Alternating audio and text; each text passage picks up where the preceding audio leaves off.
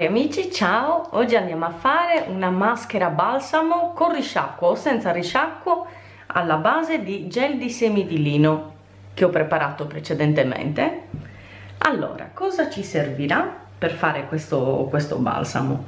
C'è il semi di lino naturalmente, dell'acqua demineralizzata, io ho preparato l'estratto glicerico di calendula e carcadè, eccolo qua, e ho utilizzato questo, l'oliolito di lavanda e melissa, olio di cocco, olio di ricino, Esterquat e poi in fase C vedremo che cosa mettere mano a mano. Ora procediamo, io ho già pesato gli ingredienti, qui abbiamo tutta la fase A con l'acqua, i semi di lino, naturalmente la, la ricetta è giù nell'info box, qui abbiamo i nostri oli ora vado a scaldare a bagnomaria la mia fase A per poi unire il tutto. Una volta ho unito le due fasi non stava registrando. Bene ho unito le due fasi vado a mescolare attentamente. Allora ho deciso di aggiungere alla mia maschera il mallo di noci.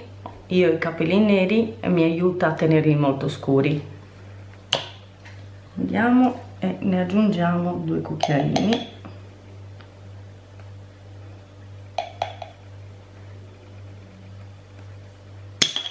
Ecco fatto. E ora vado a mescolare bene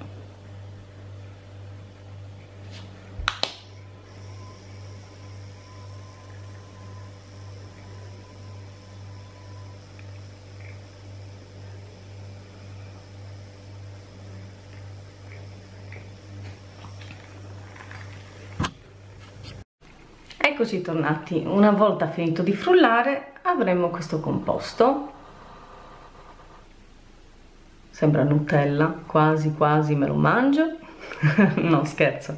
Adesso lo metterò nei capelli in posa per un bel paio d'ore poi laverò e vedremo il risultato finito.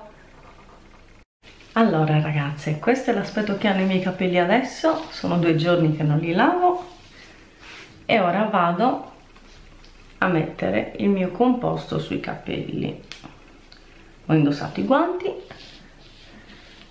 altrimenti è un disastro. Lo dispongo dalla cute alle punte in questo modo così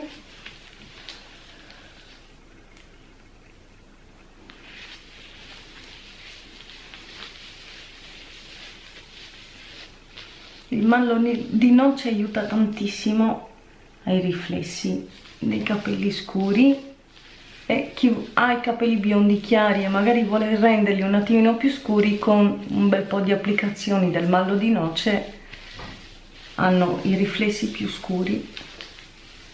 Riescono a ottenere dei colori più, più scuri naturalmente non copre i capelli bianchi a meno che voi non lo mettiate tutti i giorni.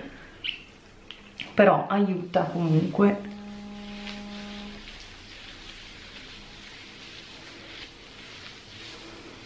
Ora continuo così. E torno tra poco.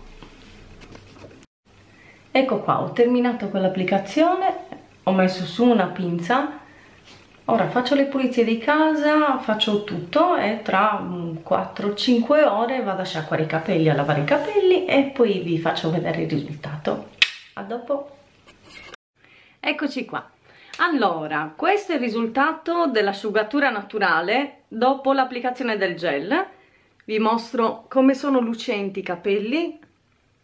Sono lucentissimi sono morbidi setosi eh, avevano proprio bisogno di questo trattamento, ve lo consiglio vivamente, se lo fate scrivetelo giù nei commenti, vi mando un caro abbraccio, un bacio e buon spignato a tutti, ciao!